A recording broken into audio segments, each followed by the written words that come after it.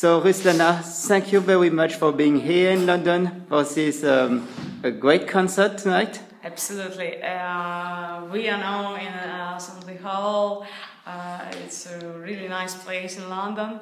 I bring a lot of energy uh, with wild dancers, with a lot of amazing songs, which I created for all this time mm. after my victory in Istanbul. And of course, I'm waiting for the for this amazing, crazy audience. I think so. My fans and my friends and a lot of Ukrainians here. We celebrated uh, uh, 25 years for independence. Uh, you know, for Ukrainians, very important to unite around the world for mm. the you know for best future. So I'm I'm really happy to be in London because a lot of uh, things you know um, um, remind me for a lot of positive, uh, important things in my life. Wild Dances started here. I recorded my album Wild Dances in Peter Gabriel studio. I worked with many producers here, and I, um, uh, I performed many times here. I had amazing tour in uh, in UK. Uh, it was 2005. It was more than 20 performances uh, for biggest city in in in, mm-hmm. uh, uh, in, in UK, and I performed for BBC here, and I was invited many many times for um, different events of Eurovision Song Contest here also, and I. I performed in Oxford and I performed for many uh, amazing schools and university here and uh, in, in, the clubs uh, around, uh, not just in London. I performed last time in Manchester. It was like like few months ago. So no, for, me, UK is really a country which I love and I feel. Okay, and so my first question, would like to know what was your reaction when Jamala won the Eurovision Song Contest and bring to Ukraine a second victory for, in the contest after you? It was my plan. I, I'm, I'm really uh, wanted it. Uh, I'm, I'm, I was waiting for this moment again because Ukraine, now I speak with you, not just a musician, but Jamala, my big, big friend. I think uh, uh she is uh, biggest friend uh, in Ukraine. Um, um, not just like musician, like singer, but also as a social voice because she is from Crimea.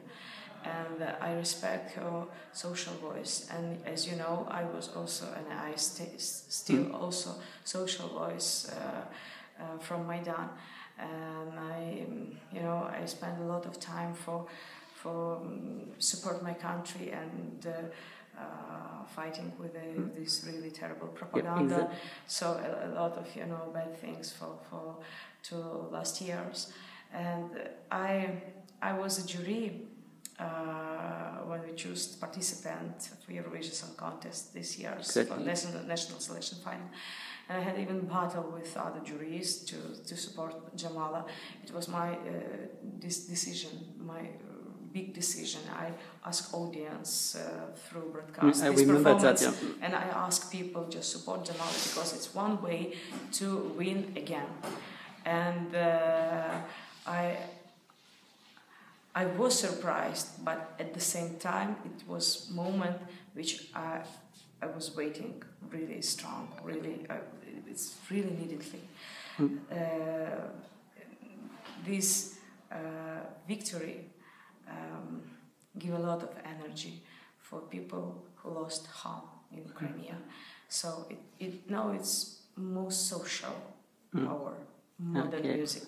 And uh, concerning the, the Ukrainian uh, national selections uh, next year, and, and, we know that uh, Konstantin Meladze will be reconducted in the jury, and Jamala will yes. be part of the jury. Yes. So there is a third member to be known.